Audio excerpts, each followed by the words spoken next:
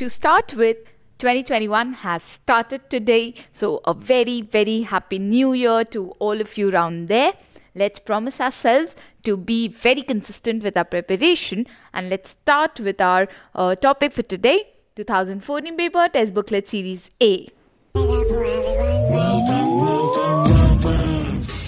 We start with the 71st question for today because up to that 70 questions are already completed and we hopefully complete all of it today. So the power of the Supreme Court of India to decide disputes between the center and the states falls under its advisory appellate original or writ jurisdiction and this is a very clear cut answer because if you know if you've read polity this is easy for you. It falls under C original jurisdiction because according to the Indian polity Lakshmi Lakshmikant book the original jurisdiction uh, Supreme Court has three powers center and states, center states on one side and other states, and between two or more states.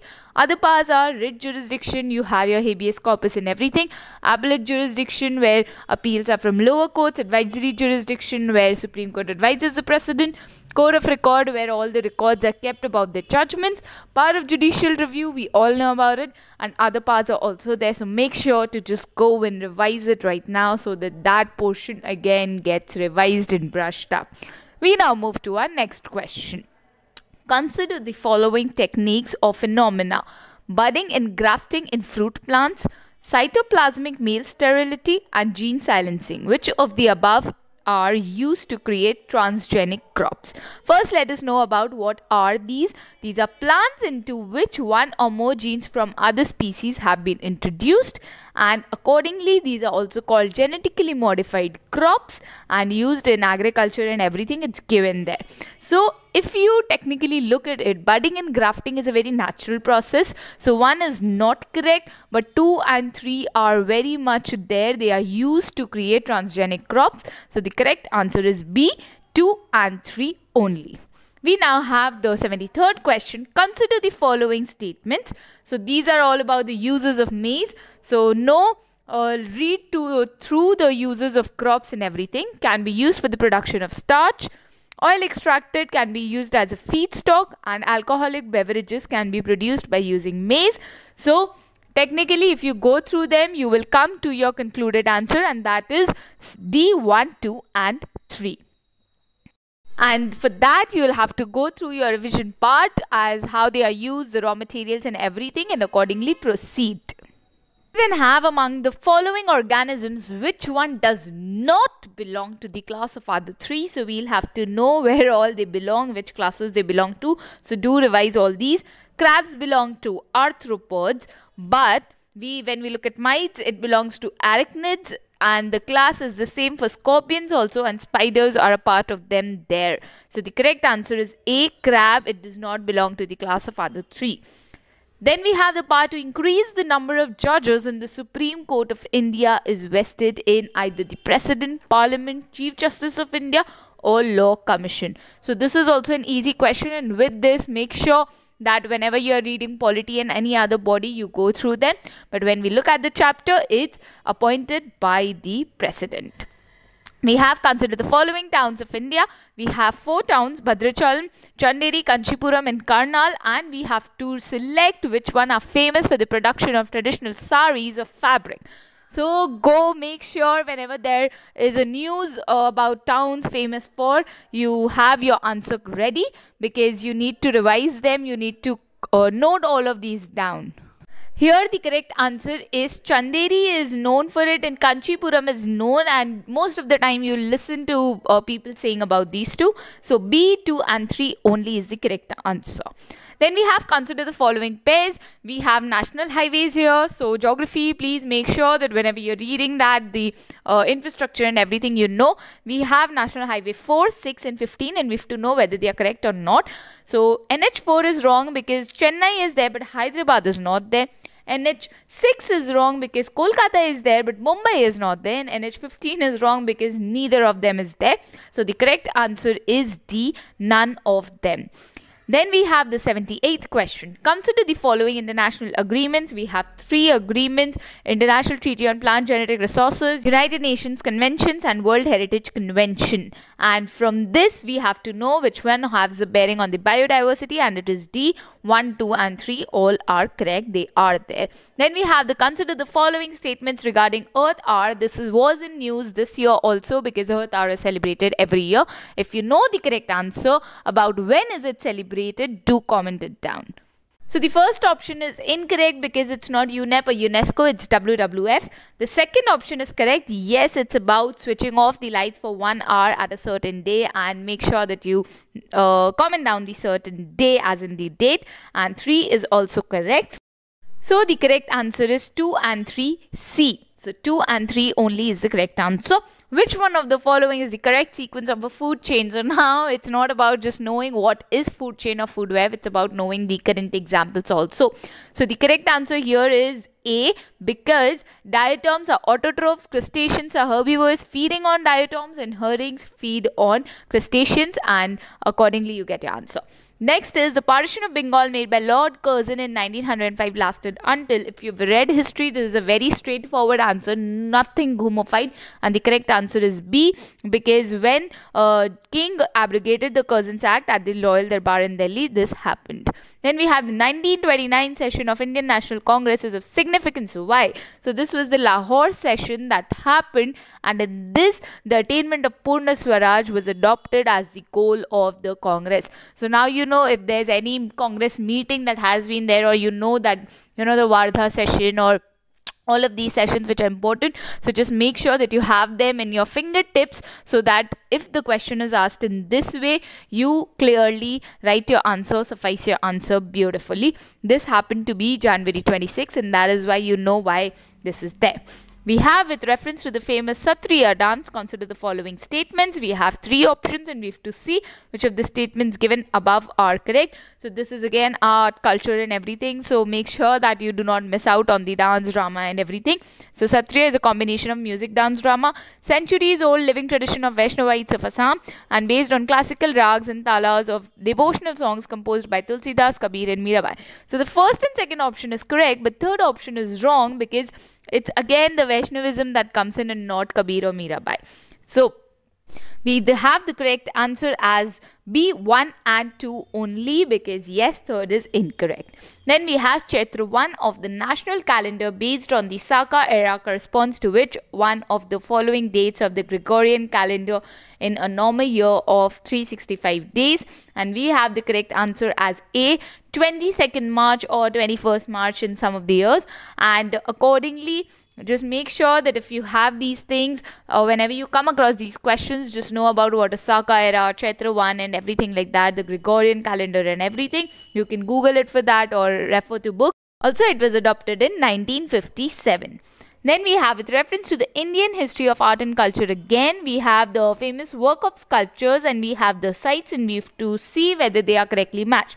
So the Ajanta is correctly matched because yes it's a grand image of Buddha's Mahaparinirvana uh, Mount Abu we'll see eventually and uh, is also correct because yes it's the Arjun's penance or descent of Ganga.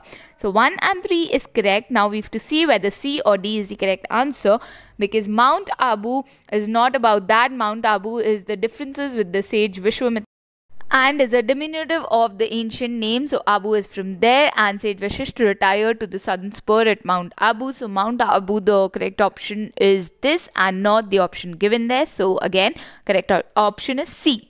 Then we have the Ghadar was a revolutionary association of Indians with headquarters at San Francisco. This is the correct answer. This is again from uh, Indian modern uh, history. And uh, from there, uh, Ghadar was a revolutionary movement that had been started. And so correct answer is A. All the three can be excluded. Then we have the 87th question with reference to India's culture and tradition, what is Kalaripayattu? So just like you had all the dance and dramas, you also have to have what are the things that are recognized in our Indian culture and our economy. So we have four options. You need to uh, select the correct answer.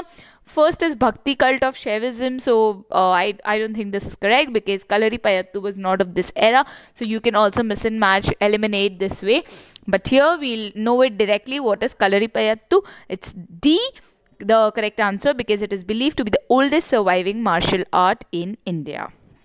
Next, we have that we need to consider the following pairs. We have the, the dance thing there, and we need to see whether they are uh, the correct state that they belong to. So, Garba, Gujarat, very, very, very uh, relevant. Yakshagana, Karnataka is also the correct answer, but for Odisha, it is not Mohiniyattam because uh, Mohiniyattam is from Kerala.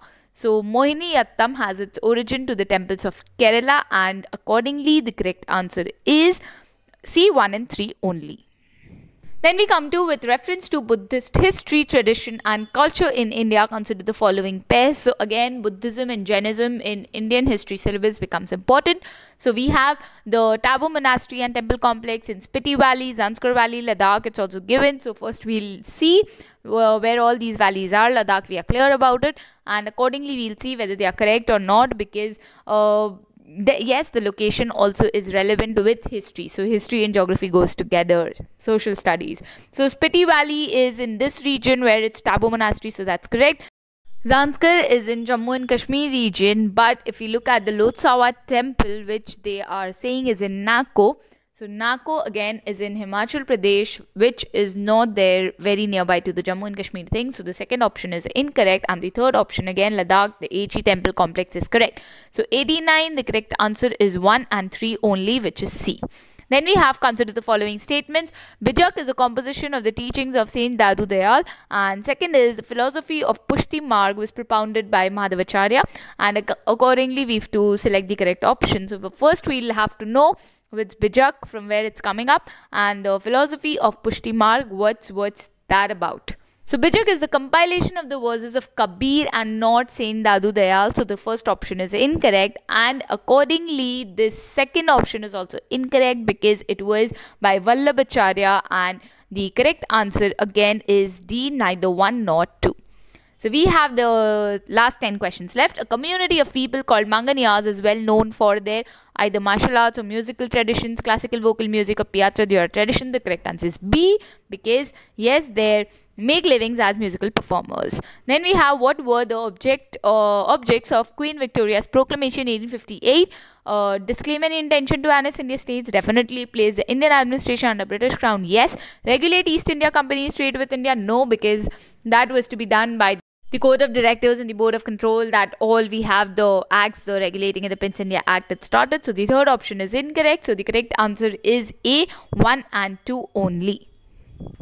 This question we've already covered in our Mughal India video. So this Ibadat Khana at Fatehpur Sikri was the hall in which Akbar held discussions with scholars of various religions. So accordingly, architecture becomes important. Then we have in the context of food and nutritional security of India, enhancing the seed replacement rates of various crops helps in achieving the food production targets in the future. But what are the constraints or whatever are the uh, disadvantages and everything like that challenges? So there is no national seeds policy in place, no participation of private sector seed companies in the supply of quality seeds, and demand supply gap regarding quality seeds in case. So yes, the constraints are yes the demand supply gap is there and accordingly only that is correct. So 3 only b is the correct answer. With reference to the eco-sensitive zones which of the following statements are correct? Eco-sensitive zones areas declared under wildlife protection act and uh, purpose of these is to prohibit all kinds of human activities in those zones except agriculture. Both are incorrect because it's not under wildlife protection but environment protection act and also, their purpose is to act as a transition zone and from areas of high protection to areas involving lesser protection. So, the correct answer is D, neither 1 nor 2. Then we have considered the following statements. Animal Welfare Board of India established under the Environment Protection Act 1986, National Tiger Conservation Authority a statutory body and National Ganga River Basin Authority chaired by the Prime Minister. See, third is correct. Second is also correct because yes it is a statutory body and that is why uh, our authority our bodies and what are they where do they belong and everything becomes important because that could be just one option but accordingly that could be stupidly uh, engaged. But the first option is incorrect because it's under the prevention of cruelty to animals act 1960 so now the correct answer is b 2 and 3 only then we move on to the consider the following uh, pairs. We have the vitamins and accordingly we have the deficiency diseases. So again the uh, NCERT science becomes important here. Vitamin C scurvy is the correct answer. Vitamin D rickets is also correct. But vitamin E and night blindness do not match. So the correct answer is 1 and 2A. So A1 and 2 only is the correct answer and we'll see why vitamin E does not match with night blindness. What is vitamin E responsible for and what's night blindness uh, due to. So vitamin E deficiency can cause nerve and muscle damage. So this is about the loss of feeling the arms legs loss of body movement and everything but night blindness is due to lack of vitamin a then we have the next question. There is some concern regarding the nanoparticles of some chemical elements used by the industry in the manufacture of various products. So why is the question? So accordingly, a very general question it is. Uh, if you do not get confused, you can uh, you know select the answer D one, two, and three, which is also correct. But if you get confused of how could some question or how could a question be this easy, then you might just get confused. But the correct answer is D one, two, and three. Then we have the last second question for today. Which of the following organizations brings about the publication known as World Economic Outlook? A very simple question, a very straightforward. You know it, you know it. If you don't, you don't. So the correct answer here is A, the International Monetary Fund. Then we have our last question for today with reference to union budget which of the following are covered under non-plan expenditure. Strange that this time budget had such a simple question but the correct answer is 1, 2, 3, 4 all are correct. So C is the correct answer for 100. Defense, interest payments, salaries and pension subsidies all falls under the non-plan expenditure. Alright guys, this was it with today's video. We finally, finally completed the 2014 paper and with this, uh, next fr uh, Friday when we start uh, the year thing, we'll start with 2015 paper and hopefully we'll complete the uh, 10 questions, 20 questions and accordingly proceed uh, in a faster pace than we did in the last month that we had a month to just complete a paper. So yeah when you start it's that slow. That is why you should start early. And that's the sole point of completing all of these in this quick time or a very lagging time if a lot of people might call it. But accordingly we meet next on friday with 2015 paper. Until then uh, revise revise and revise. Thanks for watching